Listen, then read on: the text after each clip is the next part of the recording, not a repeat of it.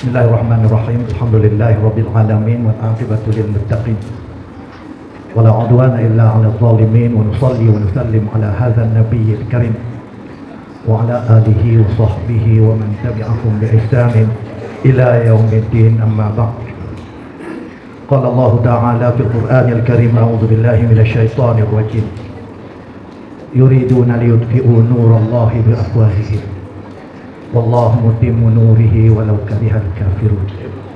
هو الذي أرسل رسوله بالهدى ودين الحق ليظهره على الدين كله ولو كره المشركون. صدق الله العظيم.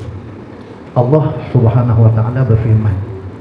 الله سبحانه وتعالى berkata dalam القران betul. Kita kalau Allah kita kata firman. Kalau Nabi kita kata sabda.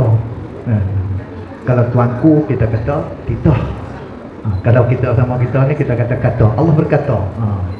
orang-orang kafir orang-orang munafik kan ha. dia cuba memandangkan agama Allah ni agama Islam ini Baik, baik, baik. Ni UMNO, ni ni mic jadi macam ni.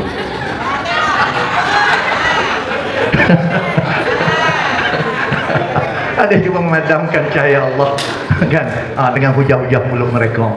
Tapi jangan risau Allah akan tetap menjaga agama dia. Kita tak mau jaga tak apa Allah yang jaga. Dan Allah lah yang.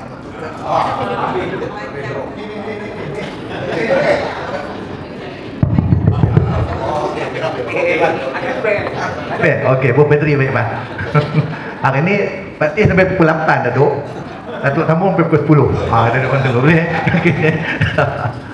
Jadi Allah lah yang mengutuskan Nabi sallallahu alaihi wasallam membawa agama Islam yang hak, yang benar. It's no other religious except Islam. Untuk dimenangkan agama Islam ini daripada seluruh kepercayaan pegangan-pegangan yang lain. Ini pegangan kita.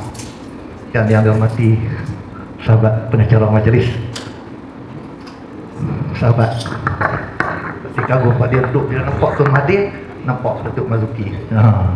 Jadi Datuk uh, Wira Mazuki selaku setiausaha proklamasi orang Melayu uh, isu penyatuan orang Melayu dan kuasa-kuasa politik Melayu yang uh, berbahagia Tuan Syed Hassan bin Syed Ali Presiden uh, Perkasa uh, kemudian uh, oh, sahabat saya mana Cik Zai Oh, lari kita duduk dengan Fatih lah. Lari apa? Cikgu Zai selaku uh, Presiden Umar Datuk Luqman. Oh, Datuk Luqman kan ni yang tadi nasib baik tadi kau tidak kenal Fatih. tak mahu tu. Kan? Oh, okay. Sometimes we have to know the place where to we deliver something. That is uh, I'm not try to, to to teach you, but that is the principle. Kan? uh, kemudian uh, uh, Datuk Yazan ni. Ha, ada ketua bersatu Iwan Sikit usaha bersatu Semua wabi-wabi ni Ramai orang pas yang dalam ni ha, Batik kerah dia ramai dia Dia terjun pembatal semua Ramai hari ni nak dengar okay. Dan semua uh, yang hadir pada hari ini Bertukur-tukur kita Alhamdulillah Subhanahu Taala. Berapa perkara yang kita kena kongsi kadang Yang apa yang dibawa oleh uh, Tuan Guru Presiden PAS sendiri yang pertama, orang Melayu, orang Islam ni dia kata dia tak faham politik. Politik ini adalah kuasa. Apabila hilang kuasa, orang lain berkuasa, dia boleh buat apa saja. Islam memerintah 3 per 4 daripada dunia. Eropah Timur, Andalusia, masjid kita kita tengok besar. Hilang hilang kuasa sebab tak ada kuasa politik, hilang segalanya dan penganut Islam juga tak mengalir. India, kita memerintah 800 tahun sampai menjadi satu bangunan menjadi kebanggaan dunia Taj Mahal orang pergi melawat sampai sana dibina oleh orang Islam 800 tahun apabila kita hilang kuasa politik you see what happen nak sembelih lembu pun tak boleh sekarang dia nak bawa lembu sembelih tak boleh tunjuk ke orang you see what happen because of kuasa politik kita hilang Selatan Thailand ada raja, ada kerajaan, empat buah negeri, Naratiwat, Rayala, Rayala, petani, duduk cakap, duduk sama sekarang. Berkumpul ni, kuasa politik tak ada. Segala peraturan ditentukan oleh orang yang mempunyai kuasa politik. Ni, kalau kita hilang kuasa politik dalam negara kita, jangan cakap tak hilang. Jangan cakap dia tak boleh hilang. Kalau India 800 tahun boleh hilang. Kalau Eropah Timur 800 tahun boleh hilang. Kalau Manila Manila boleh hilang. Kalau kerajaan di Kemboja boleh hilang. Tak mustahil. orang kita kena ingat sejarah kena tengok sejarah sebab itu kena baca kepada kawan-kawan kita dan kena baca kepada orang Melayu kita hal signifikan pentingnya kepada penyatuan ini. Kan? kita tahu 1511 kan kerajaan Melayu Melaka. Ada rajanya ada raja tak sekarang kat Melaka? Di only negeri dua Melaka tak ada raja tau. First Melayu raja raja di sana. Because of what? Ada pengkhianat Sikito dan Mandalia. Kan? Sikito ini ada pada bila-bila masuk hilang kerajaan. Berapa tahun kita memerintah? Pendek cerita kita berarti kena sebut I'm not racist tapi kena sebut. Orang Melayu kena sedar.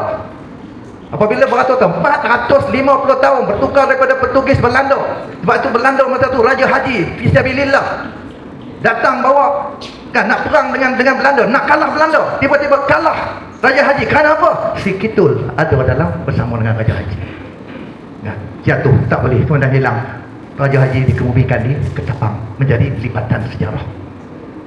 Kita terus diperintah Jepun, perintah kita ambil ringkas. Apabila Inggeris merintah, orang putih merintah negara kita. Kan? Nak membangunkan negara kita ni Perak, orang Perak mesti terasa punya kita banyak lombong. Nak kerja lombong tak ada, maka kita bawa orang Cina mari. Ini sejarah yang kita belajar. Bawa orang Cina sini kerja dekat lombong. Dia bawa buat estate. Kan?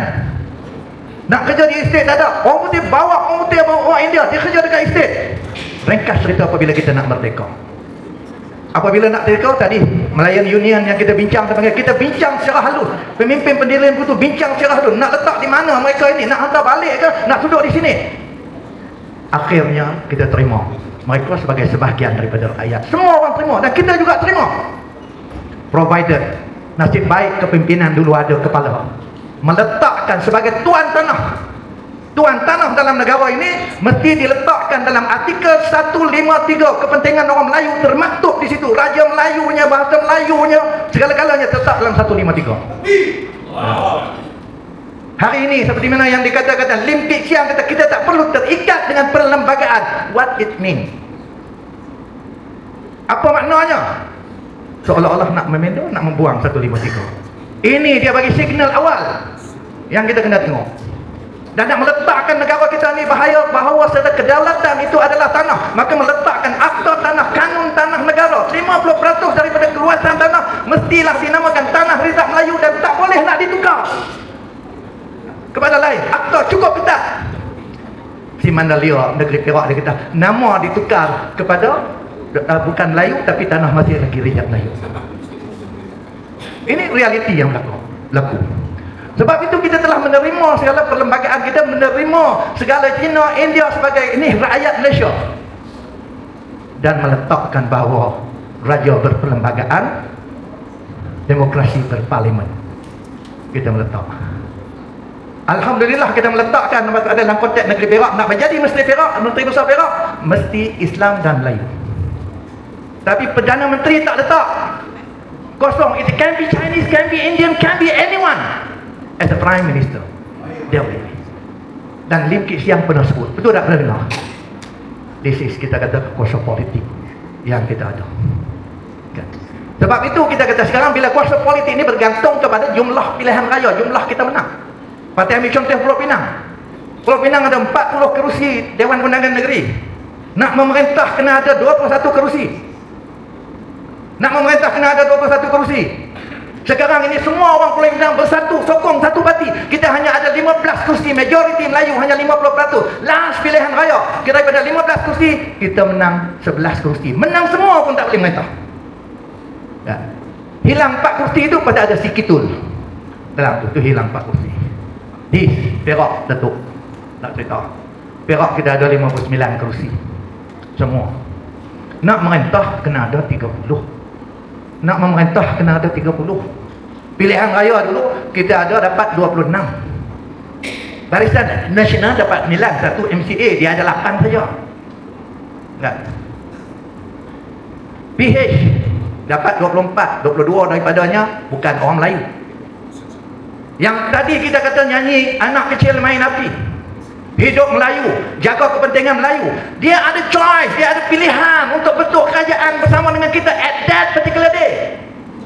Why dia pilih DAP dia boleh pilih dengan kita. Apabila dia pilih dengan kita duduk bersama dengan DAP kita lihat apa yang berlaku. Kuasa di tangan dia. Kuasa di tangan dia. Sebab itu yang dikatakan tadi dia nak membuat bagi KPKT Kementerian Perumahan dan Kerajaan Tempatan apabila dia ada kuasa mereka memikirkan bagaimana nak strengthen nak menguatkan lagi kuasa dia. Itu keluar URA Urban Redevelopment Act. Akta pembedahan pembaharuan semua bandar. Yang kata tadi tengok dalam bandar kampung yang tak maju tempat yang tak maju itu adalah kampung Melayu. Dengan ada akta ni dia ambil boleh-boleh dan membangunkan dan menghalau orang Melayu jadi macam Pulau Pinang. Ambil kampung Melayu bina rumah 700 ribu. Siapa mampu duduk? Ini kuasa ya. Dia ambil sebab itu secara ringkasnya di coming general election GE 16 kalau orang Melayu tak bersatu dan DAP masih berada dalam kerajaan selepas daripada dia apa pada pilihan raya 16 kita boleh tengok kedudukan orang Melayu dan sekiranya mereka boleh buat perkara yang sama ataupun pecahan sepadan dalam negeri Perak Perak Parti dah sebut berapa kali di Batu Gajah ada 150 ribu orang pengundi untuk buat satu parlimen di antara garis pilihan raya apa-apa Jaya pilihan raya di antara 30 ribu dengan 40 ribu. Berarti 50 ribu 150 ribu berapa parlimen boleh buat? tiga. Parlimen. Berapa tun boleh buat dalam tu? 6 tun balik kuan tun 20 ribu ke 15 ke 20 ribu. Dan majority is non-Malay kalau Perak next state yang jadi macam tu dia tak perlu Melayu. Dengan UMNO sekali dia tenang sebab itu tak ada pilihan lain. Kita cerita kepada rakan-rakan kita UMNO bila kita duduk selama ini kita telah sacrifice kita telah mengorbankan. Nenek mana hampa mari duduk kat rumah kami hampa duduklah buat. Ni ada pula orang dalam rumah kita ni ajak masuk dalam dapur kita masuk dalam bilik kita. Eh ini orang Melayu kena bersatu tak ada choice untuk pilihan raya. Sebab tu kita turun terus terus bagi tahu untuk benda tu sebab tu kata kawan-kawan kita tak fikir siapa memimpin. Pada malam itu sendiri ni Pak Tis sendiri SMS hari ni tak ni orang kampung Pak Tis kan? Kita ni nak buat macam mana ni tadi? Tak apa tengok orang kita lepas tu dia pergi duduk dengan DAP macam ni yang kata kan? Tak apa kami boleh kontrol DAP kontrol DAP apa? Hari ni masuk kerajaan lusa keluar 3R 3R ni religious race dengan royal. Di mana akta ni diluluskan bila persidangan yang diluluskan akta ni? Orang Melayu kita pula yang sekarang ni Yang jadi menalia Ni kes di bendera. Kau nak dia cerita? Kes di bendera dia tu. Kita buat 66 report. Kesalahan yang jelas mengibarkan bendera asing. Ini kesalahan dia. Dia kata dia kali minta maaf Ada bendera uh, uh, yang mengibar tu adalah Bukan rakyat Malaysia, rakyat Cina Itu bukan isu dia. Kami cek satu-satu. Ahli DAP yang goyang tu 66 orang. 66 report kita buat. Tak ada ambil tindakan. PA kepada Ngang Omeng buat report Hambat patih tu lagi ni Ni Kalau kita kata orang Melayu kita tak tahu kita tak tahu lagi. Lepas tu kita nak ambil lupakan. Pilihan raya akan datang. Kalau kita di Perak ni kita bersatu 40 kursi kita boleh menang. Siapa, siapa? nak jadi Perdana Menteri Siapa nak jadi Menteri tak kisah. Asalkan Melayu sebab itu Tok Guru kata mana-mana dalam dunia ini kaum majoriti mesti memerintah. You have to understand that kita di Perak ni 30% non-Malay, 70% Malay. Why you give this government to the non-Malay? Pasal apa tak sedar? Tak sedar. Kehidupan. Sebab itu Tok Guru mengatakan kita ni, Tuan, Datuk, perbezaan orang Islam ni bukan setakat parti yang tajam. Perbezaan ni tajam ni mazhab lagi tajam. Sampai dok kata ni apabila Hasan Nasrullah Hasbullah terbunuh. Dia tulis dia kata, that you have to identify who is your real enemy. Kita kena kenal siapa musuh kita. Musuh kita Israel. Sebab itu Hasbullah kata dia kata marilah semua tak lupakan mazhab, lupakan Wahabi, lupakan Syiah. Marilah kita berkumpul, mari hancurkan dulu Israel. Lepas tu tak apalah hangpa sunni mari perang kami. Sampai tak apa. Ini kita di Malaysia ni bukan PAS, bukan bersatu, bukan UMNO, bukan apa. Our real enemy is what? DAP. Ya, betul. Betul. Setakat ni kita tak tengok. Sebab tu kata kata pada sendiri. 22 bulan. Dia kibar bendera terbalik. Tiba-tiba pada musim tu kibar bendera terbalik. Orang Melayu buat tak tahu. Lukis mural Mau Zedong, lukis mural Mahatma Gandhi. Dekat sana orang Melayu buat tak tahu. Betul. Tiba-tiba buat perhimpunan kaum ini, orang Melayu buat tak tahu. Bawa balik Abu Cimpeng, buang dekat lumut, orang Melayu buat tak tahu. Ni kibar bendera asting yang menjadi kesalahan, yang kesalahan ni patih resis. Berhimpun pemimpin-pemimpin tiba kita. Orang Melayu nak ajak turun kat kat Tanjung Malim tak mau. Kat Teluk Intan pun tak mau. Ni. Ah, sebab tu parti cuba sokong dia kedai. No, really. But we cannot tak boleh lari daripada politik because we have to get the power back. Power ni mesti kita dapat melalui politik. Kalau nak bersatu kita nak bersatu di bawah siapa sekarang? Tidak. Abang Mike tu tahu dah tu. Bahasa geram tadi lah ni. Tak apalah Pati tak lepas geram sana, Pati lepas geram sini. Okey, okey, tu ah, tak kira. Settle tu. Kira settle tu. No. You have to imagine now.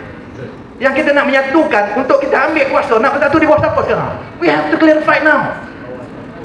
Bukan sampai particular sampai hari esok baru hari cerita baru nak timbul-timbul. Orang tengok kucar kacir. Sebab tu the young generation dia kata, I don't believe you know. Now I see this PN also. Eh? Siapa kita nak bersatu? That's why we have to forget it everything. Ni, our real enemy is the DAP. Kan? Betul. Cukup atau tak? Cukup atau tak? Oh, nanti kita jumpa Tun. Nanti ngetun ni. Nah.